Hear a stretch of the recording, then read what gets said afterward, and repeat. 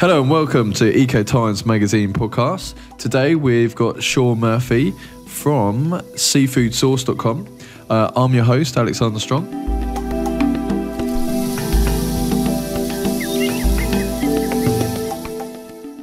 Sean, are you on the line? I'm here. Great stuff, great stuff. So Sean is a seafood expert. Um, so he he's a journalist and talks about everything kind of seafood in terms of global. So um, we're gonna learn a lot today about seafood and in terms of sustainability, uh, growing your own fish, what fish to look out for, what you should be aware of. Um, so Sean, if you could introduce a bit about yourself and then kind of delve into some subjects you think would be useful for the audience. Sure. I'm the uh, online editor here at seafoodsource.com, which is a news website for the seafood industry. Uh, probably the easiest way to explain it is uh, if you've ever eaten seafood before, um, the people who brought it to you, whether it's the fishermen or the aquaculture growers or the, the, the, the importers, the distributors, the chefs, pretty much all those guys are watching our site, we hope, to, uh, to see what's going on in the industry. And uh, one of the things that we do write a lot about is uh, sustainability and making sure that well there is no garden variety kind of dictionary definition of sustainability but the easiest broad term would be to say that any any kind of fishing or aquaculture which is of course fish farming that uh, has as little an impact as possible on the environment is probably something we would describe as sustainable. And of course that uh, that that's kind of a loaded broad term. You know there are a lot of uh, specifics as well. Um, we can talk about fishing first if you want. Um, yeah, go for it. Well, uh, sustainable fishing tends to be defined as, as something that, first of all, doesn't have an impact on the environment. So, um, making sure that uh, they're not f- overfishing a particular stock, which does happen. You know, sometimes fishermen with more modern technology, it, it is easy, whether they're trying to do it or not, to uh, to fish too much uh, out of the sea to the point where the fish can't replenish themselves, and nobody wants that because the fishermen would be out of a job and we'll be out of food. So yeah, that's one thing they worry about. Um, another thing they worry about is what kind of gear they're using because sometimes that can have an inadvertent effect on the environment. Um, we uh, trawl fishing is one issue uh, where basically it's just a giant net underwater that's suspended by a weight or a boom of some kind and yeah. low low trawl fishing, uh, bottom trawl fishing, it sometimes it's literally dragging on the bottom of the ocean floor. And you know, some environmentalists argue, um, rightfully, that that it can do damage to the seabed. It can do damage to coral reefs if you're not careful. So issues like that. Um, long line fishing is another technique that is used. A lot of times it's used in tuna, where they literally will trail a line behind the fishing boat that's you know a couple miles long with a hook yeah. every so many feet and you know, it's it's a very efficient way to fish, but unfortunately, you can pull in sometimes things that you don't want, like sea turtles or sharks or whatnot, and even the fishermen don't want to see that happen. So, you know, trying to determine what's the best gear that's not going to hurt the environment that's a that's a big issue with sustainability. Yeah. So I just want to touch on that because it, it's, it's very dear to my heart in terms of the environment. You know, we we we we, we want to be on this earth for a long time, and um, I was in uh, Tasmania last year, and um, I came across uh, the these these fishermen were telling me about this um, massive trawler, and apparently this trawler is so huge, and it's got um, so advanced kind of sonars and radars. It can it can tell you know kind of 10, 10 clicks out. That's kilometers. Um, you know that there is you know a ton of fish uh, or two tons of fish there, and what we're doing is they're like you're saying, like miles long kind of trawling. And they're basically stealing all the fish. They've done this in Africa, and basically, um, if if they come if they if their sorry hull is full of fish already, mm. but they come across say salmon or a more expensive fish, they dump they just dump all all this amazing fish that they've just killed and leave it in the ocean, and they've got like washed up dolphins and all sorts of stuff. It, mm. Is something people aren't aware of and and is is very upsetting.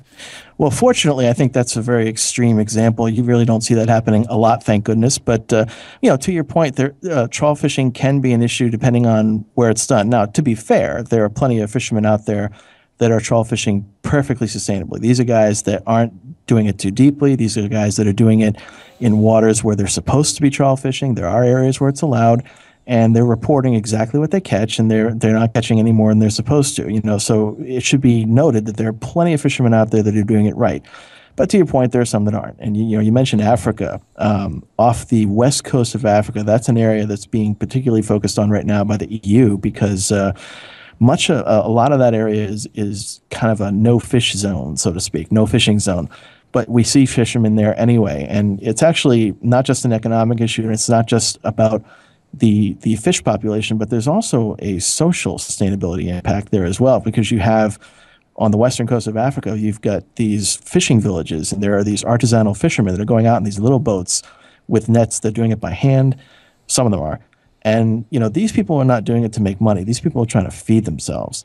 And if you have a large commercial vessel that, like you said, is pulling up all the fish, well, now you're literally taking food out of the mouths of these villages. So um, there are rules about where you can fish, and you know the the illegal fishermen that, that do it are a focus right now. Uh, they call it the term is IUU fishing, which is illegal, unreported, and unregulated fishing. That's a big issue, and uh, obviously authorities are trying to crack down on that wherever they can. It's how how rife is it in the world, um, Sean? Well, it depends on where you're going. I mean, uh, again, off the coast of Africa, it does happen. Um, as far as numbers go, it's it, it, it, does add up. I mean, they they express it in terms of economics, so it, it can be a multi-billion dollar a year problem, meaning multiple billion dollars worth of fish that are being essentially stolen or, or, or fished illegally out of the water. Yeah, exactly. Um, I can't. I don't know this particular name of company, and it's probably not best to name it. I'll probably get sued my, my ass off. But um, it was quite an upsetting story, you know, to, to hear it from the locals. So mm. uh, moving on, um, what like I I saw a documentary on um, it was the dolphins, and mm-hmm. it's about the Japanese kind of killing the dolphins. Mm-hmm. I know this is quite drastic, but I wanted to highlight on it. They were actually feeding um, the kind of the, the the population like in the shops and passing uh, the dolphin meat off as as some sort of fish, but it had such high levels of um, I can't remember whether it's it was iron or mercury.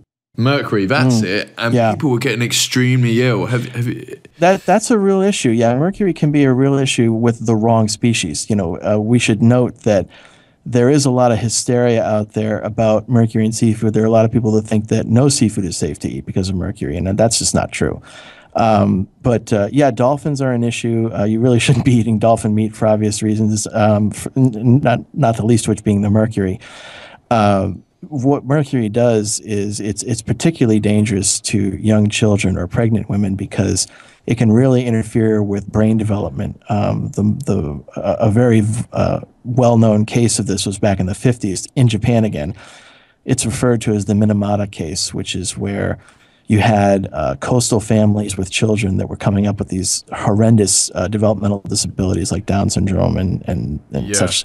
And the reason that was happening was not because they were eating the wrong fish, they were eating the right fish. It's just that there was a factory that was dumping waste into the ocean, which is so that's a very unusual situation. Um, most of the time, you're not going to have to worry about that. The uh, regional authorities will tell you which fish are safe and which aren't. For example, in the U.S., we have the uh, U.S. Food and Drug Administration, the FDA, which has very strict guidelines, very clear guidelines. They basically say you have to limit your intake for four types of fish, which is tilefish, um, king mackerel, shark, and swordfish. But beyond that, they don't really say don't eat fish. In fact, just the opposite. They're trying to tell you to eat more fish. In fact, right now, the FDA is working on revising its guidelines to to add in some positive comments about the benefits of, of seafood and a healthy diet. Mm. Uh, because w- what has happened is you know you have some high profile cases like the Minamata case, and it frightens people. And there are a lot of people out there, even some well meaning NGOs get involved in this and say, well, you know, let's just uh, let's just uh, play it safe and not eat anything. Well, you really shouldn't do that because if you're eating tuna fish, for example, I mean, there's a lot of great benefits to eating seafood. Omega three fatty acids are critical to to health and well-being. They're great for uh, develop. There's been studies that linked it to increased intelligence, especially among children. So, it's really a good thing to be eating if you're pregnant or if you have young children. Yeah. So what are like? I've got a big thing for prawns um, and shrimp. Are, are pra- here's a question: Are prawns and shrimp the same thing? I mean, this might be a bit naive here. No, no, it, it's not naive. I wanted the same thing a long time ago. Essentially, yeah, they are the same thing. It's just a different uh, designation. I mean, I, I think if you really want to get technical about it, there's probably some vague species difference or regional difference, but you know, certainly to the average person, they they they're, they're the same. They taste the same. You you cook them the same. You you fish them the same. You farm them the same. Pretty pretty much the same thing. Okay, cool. So, um, are so which fish have the most kind of minerals and, and nutrients? Because I, I know you know people say salmon's very rich in Mm-hmm. certain elements, um, and obviously people say oysters and, and prawns. Because I, I personally, I, I, I can't eat salmon. I find it slightly too rich for my, my palate. But um, I love all other fish. I'm a Mm. Big fish fan. Well, salmon is very rich, and uh, that's one of the ones that people go to very often. Um, what they will recommend is they call them oily fish, uh, and salmon is a very common one. Um, basically, it's a fatty, oily fish, uh, and that's where that that strong, distinctive flavor is coming from. Um, the issue is that oil is very rich in omega-3 acids, and you know this is something we've known for years. I mean, I don't know about you, but growing up in America, I've I've seen for years people taking. Some people like to take cod liver oil or you know pills and such you know fish oil pills. It's essentially a, a pill form of the same thing but you know you can get it from eating a fish and it's probably healthier to do it that way anyway. Um, and salmon yeah it does have a very strong flavor. I'm with you on that one. It's um, it's definitely stronger than a lot of the white fish you'll get like pollock or haddock. Um, what a lot of people will try to do if they if they want to eat more salmon but they don't the flavor's too strong it, it depends on how you dress it. Um, there are all sorts of different sauces and recipes that you can dress them with. You know, I've, I've had it with orange sauce and it's delicious. Um, there are sometimes creme fraiche. It really depends on how you want to do it.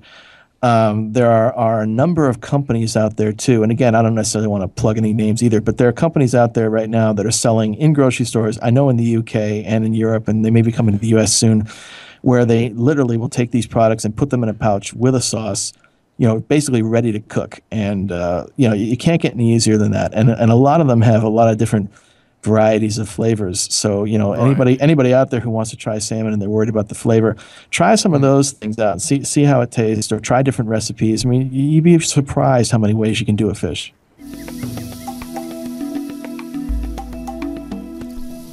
I would like to thank our sponsor this week, which is Eco Times Magazine. They cover everything green. Magazine is on the iPad and iPhone. They cover eco travel, amazing eco travel resorts, organic recipes, so you know, amazing recipes to cook, uh, eco gadgets, what's latest gadgets in eco, amazing eco transport, so battery powered bikes, hybrid cars, battery powered cars, renewable energy, what's the latest in renewable energy in terms of all the different innovative ways we can get energy. Eco how to, so for example, how to build your own solar panel or own house or something along those lines. They cover eco architecture, so like eco building. They cover tiny houses, which are amazing small houses on wheels, which you should definitely check out if you haven't seen them. They cover all eco news, so what's been going on in the week, and organic food growing techniques. Anything green, really, and it's a weekly magazine, and it's on the iPad and iPhone on or iTunes. So the link is below. So please enjoy.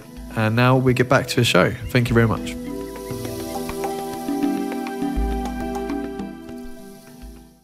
What should we be aware of when we when we buy fish? Is there any way of, of checking, you know, to say, you know, this fish has got um, too high mercury levels, or or is there any kind of guidelines you can uh, give us, Sean, in terms of helping us um, keep a healthy fish diet?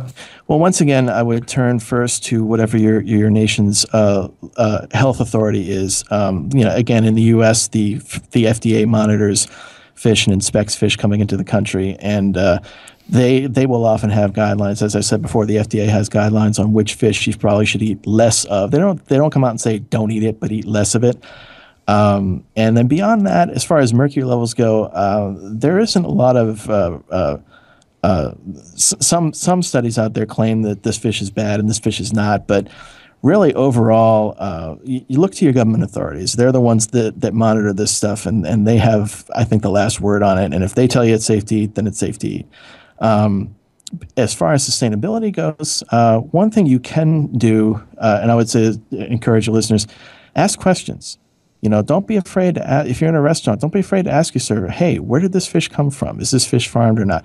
I mean, you know, you don't have to ask a million questions, but just a couple of quick questions is usually enough to get an idea of what you're looking at. And uh, the, more and more these days, uh, fishmongers and and restaurateurs are hearing questions like that from the public, um, especially in the United States. I know some of the larger chain restaurants are are actually instructing some of their managers, yeah, in, case people ask, this is what you tell them, you know, that sort of thing. So that's really right. helpful. Okay. So in terms of, um, so we're very big on, on growing your own food. Mm-hmm. Um, and there's an amazing gentleman called Will Allen um, who's got a big, um, big, big advocate of aquaponics mm-hmm. um, in terms of obviously you know growing your fish, so you got mm-hmm. your protein and obviously your uh, vegetables and salad and stuff as well. So can you can you um, explain a bit more about aquaponics for, for the audience and and why it's why it's a great you know opportunity to to grow your own food? Well, we refer to it here as aquaculture, um, and I think if we're talking about the same thing. Um, yeah. Usually, we study it on an industrial level, not so much on the individual levels. You can raise your own fish, um, but uh, often uh, people, I know in America, we tend to turn to to industrial farmers that are producing it on a larger scale. Um, I will say this: uh, farmed seafood really is not going away. There are some people that don't like it, that they're concerned about it. It's the same kind of arguments you hear when you talk about any kind of industrial farming, whether we're talking about beef or pork or chicken. Um, and, and, you know, some of those arguments are valid, and the industry definitely should be trying to improve all the time. But you know, the idea that we're that we don't need farmed salmon, we do, or farmed seafood, period, we do. I mean, uh, the UN FAO, the Food and Agriculture Organization, back in 2007, they released a report that said that by 2030, the world's food demands are going to be so high that we were going to have to produce as, as a society an extra something like 30 million metric tons more seafood. And for those who don't understand, uh, the average elephant weighs a metric ton. So that tells you a little something about how much more seafood you're going to have to produce. Yeah. Well, hey, you know, and and yeah. And uh, you know, there are arguments say, well, what if the fisheries are better managed? They'd be able to produce more fish. Yeah, yeah, that's true. But you know, sometimes fish populations are, are uh, and it has nothing to do with fishing. It's just global warming or temperature changes, whatever you want to call it. Um, so, you know, the idea that we're going to be able to use traditional fishing to feed ourselves really is not. I don't think it's realistic anymore, and I've, I've written this before on the site. Is that right. it's it's a it's a little bit like saying, well, why don't we just stock chickens in the brush instead of farming them? Well, you really can't do that. you know, I mean, it's it's not yeah. not if you want to feed everybody. So, um, you know, as far as individuals doing it, you can do it. Um, but you know, I, I guess uh, the caution I would throw out there is uh, just to to really research it and understand what you're doing with it, because there are things that can happen to your to your fish. Nothing that's going to happen to you per se, but to your fish if you don't do it right. Um, and, and, a good example of this, uh, we can talk about salmon. Um, in Chile, there was a disease called infectious salmon anemia, ISA. It doesn't hurt people, but it does kill fish. And this uh, disease really rampaged its way through industrial farms a couple of years ago. They've gotten it under control now, but it took a long time and a lot of work. And really? more recently, when we were talking about, you were talking about shrimp before. Um, mm. Shrimp is is probably one of the the one of the bigger uh, farm raised uh, species out there. Um, Thailand, for example, is the number three exporter of seafood in the world, and most of the, the shrimp they export is farmed. And, you know, uh, all through Southeast Asia, there was a problem with another disease called uh, early mortality syndrome, which again doesn't hurt people, but uh, it will kill the, the, the shrimp. And, you know, in both of these cases, you there were a lot of reasons why that disease came about, but uh, some people believe that part of the reason was because you had a lot of small farms that people just threw together and said, you know, we're going to jump in and cash in on on on the demand and everything, which is great. But you know, you can't. It, it's an illustration that you can't cut corners. It's a cautionary tale. Um, whatever you do, do the research, study it, make sure you know what you're doing because if you don't, you know, what whatever whatever effort you're putting into this could be for nothing. So you got to watch out for disease management, things like that, especially if you're raising a lot of fish. Yeah, yeah. I, I I actually was. Um, I I went to Disney World and they've got a big um, aquaculture thing in I think it's Epcot. Yeah. Um, and uh, they they was talking about you know if one fish you know gets poorly, but may have to quickly kind of segregate it, otherwise it kind of spreads. Yeah. Um, so yeah, I can imagine. I can imagine it. So here's a question reference fish in terms of round the world. So is is there is some fish um, better due to being in its location? So I don't know, it's like fish in the South Pacific because it there's maybe less pollution, or do, is, what have you seen on your radar in terms of kind of fish in, in different parts of the world in terms of kind of quality? Uh, I don't know if they, they get into the regionalization saying, you know, that tuna from this part of the world is better from tuna in that part of the world. Mm. I think that, you know, with regard to tuna, for example, in the United States, that's uh, the, the second most popular uh, uh seafood and has been for about 10 years now. But a lot of that's uh, is skipjack or albacore tuna, which comes from the Pacific and the South Pacific Ocean. Um, that's not the only place you can get it. You can get tuna in other parts of the world, but uh, the stocks are so low that it's just not, you know, reasonable to try to fish unmasked. So, you know, I, I, think it's more a matter of fish populations per se. I mean, I, I think you know there there are, are connoisseurs out there that will tell you that you know uh, tuna from this part of the world tastes better than tuna from that part of the world. But you know, unless you're a really serious, you know, uh, uh, gastronomic uh, uh, uh, person, you're not going to notice the difference per se. Um, mm. It really, it, it's more. I think it's more the availability is really what determines where people are fishing for it. Yeah, 100%.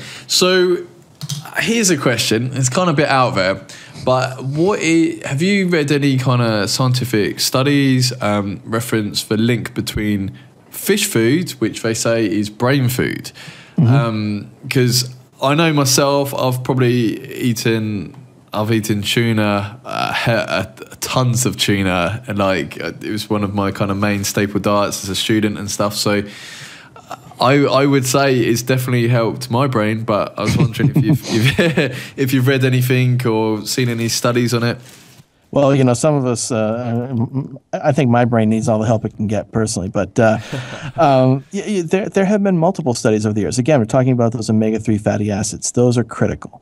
Um, right. That that there have been studies that show that there are benefits to, especially brain development, but even for adults. It's just it's just a really good uh, uh, compound to have in your in your body. It's healthy for you.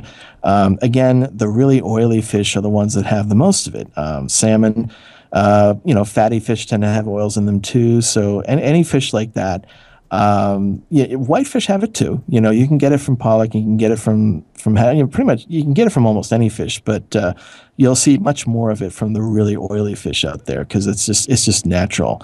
Um, again, salmon is the one everybody mentions because it's it's just a, a very popular one. Um, but really, pretty much any fish is good for you. Yeah, it, it is literally brain food, and there are studies to confirm that. Okay, cool. Um, I was just re- just looking up Professor Michael Crawford. Mm-hmm. Um, from he he's saying it, it's extremely extremely um, beneficial for a brain, which is uh, which is great. Mm-hmm. So. Um, what what other kind of fish stuff do you think would be worthwhile for our audience that we, we may haven't kind of touched on um, yet?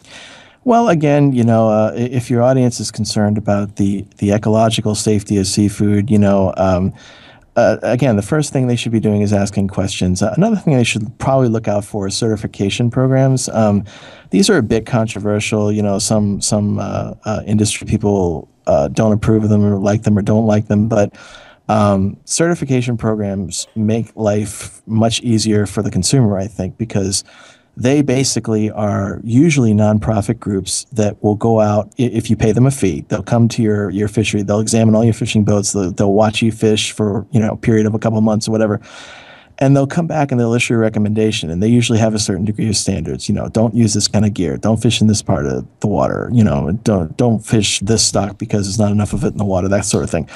And yeah. as and as long as you're adhering to the standards they set then they will say that you're certified for the next know, five years or whatever, and then the, you get permission to use their label on your product. Um, a couple of common ones: uh, the Marine Stewardship Council is a very common one uh, worldwide. They they study basically just commercial fishing in general. Um, this also the Alaska seafood industry has come up with uh, their own version of it, which they call the uh, Responsible Fisheries Management Program, which is based on standards set by the FAO. So that's a responsible standard. Um, and then there are people like Friend of the Sea, you may have heard of. That's another NGO, and they study uh, fish oil and, and, and fish meal and that sort of thing. And um, you know, when it comes to aquaculture, they have standards too. There's the Aquaculture Stewardship Council, which has their best aquaculture practices standard. Basically, studies the the fish farm to make sure that you're using the right feed, that you're not polluting the environment, that sort of thing. So a lot of times these fish, if, if, if a particular company gets certification, then they have a little label to put on it, and or sometimes you'll see it in the grocery stores on the circulars or whatnot. Um, you know, trying to understand all the com- all the different groups and what they all mean is is crazy. But you know, if you look at the label there and you understand that it comes from a third party NGO, chances are pretty good they've looked it over and decided yes.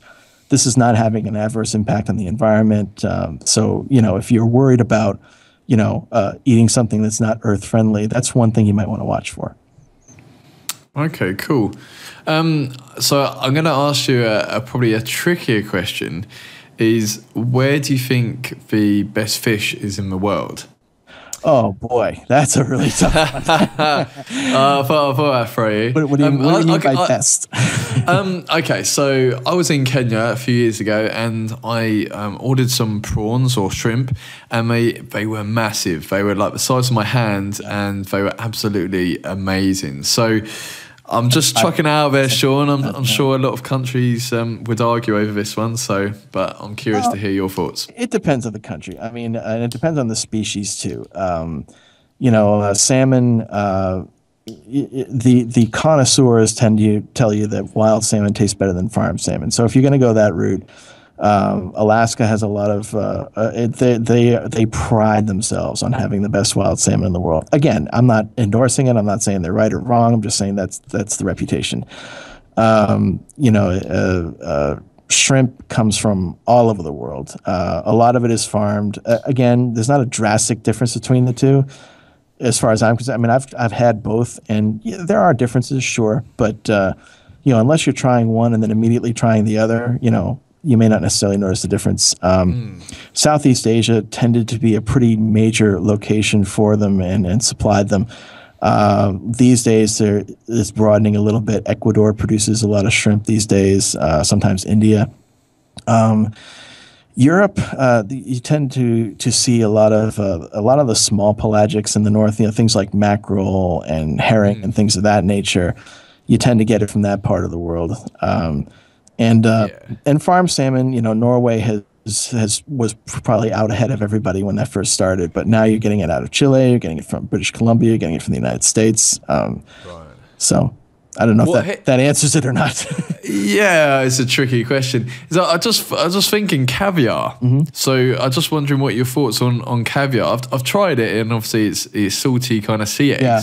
But I'm just wondering um, just kind of your thoughts and, and kind of where uh, I think Russian b- b- is is the best caviar. So I'm just wondering what your thoughts are. Well, it's definitely an acquired taste. First of all, you know, I'm, I'm not, I, I have had it. I'm not crazy about it, but but I understand why people like it. And as far as the best caviar in the world, well, you know, if, if you're a James Bond fan, you know it's the Beluga caviar is one everybody drinks with, with, with with preferably a nice uh, bottle of vodka to go with it. But um, yeah. you, you, know what's interesting about Russia is. Um, they export beluga caviar all over the world, but uh, surprisingly, they import a lot of caviar as well. Right. A lot of eggs, a lot of salmon eggs. Um, I know recently the Russian trade ban has kind of put a stop to this. Prior to that, um, one of the mm. biggest seafood exports to Russia from the United States was salmon roe or salmon eggs, believe it or not. You know, you, you wouldn't think that Russia would want to import uh, uh, fish eggs to Russia, but they do. Um, I, I guess the idea is that the beluga is like the high end caviar, and that if you want to buy it in the grocery store or something like that, you're probably buying some imported stuff from another country, you know, whether it's Europe or the U.S. or someplace, I see. or someplace else these days. Uh, with the trade ban in place, they're not uh, getting it from there, but uh, you know yeah. that that whole thing. Can can can that last a long time? Can they kind of can that up and have it for years, or or is it a certain kind of sell by date? Well, I, I'm, I think it depends a little bit on how it's processed, but uh, by and large, yeah, I think it does have an expiration date. You have to kind of kind of watch it. Um, I think it depends on the brand, depends on where it comes from and, and the species. But uh, you know, as usual, read the labels, pay attention. read the labels. That's right. Um, well, it's been amazing having you on, Sean, and uh, we would love to have you on again. My pleasure. And um, yeah, I, I can't thank you enough for being on the show. Thanks for having me. Thank you very much for enjoying our Eco Times Magazine podcast. We'd like to tell you all the platforms we're on. So we're on SoundCloud, we're on Stitcher, which is for Android. If you've got an Android phone, you can download a Stitcher, which is a podcast app, and get the Eco Times podcast on there. We're on iTunes, so you can get it on your iPhone and iPad and all your Apple devices. And we're on TuneIn as well. And we're on YouTube. So please subscribe um, to whichever platform works best for you and thank you very much for listening. We want to say a big thank you very much to Eco Times magazine for sponsoring the podcast. They are a weekly magazine, cover everything green. So if you're interested in growing your own food, renewable energy, amazing eco resorts, eco gadgets, basically anything green, how to build your own home, tiny houses, eco transport, organic food, anything green really. Um, big thank you to them and uh, please check them out. The links be below, and it's on the Apple newsstand, so you'll be able to get it on your iPad and iPhone. Thank you, and have a great day.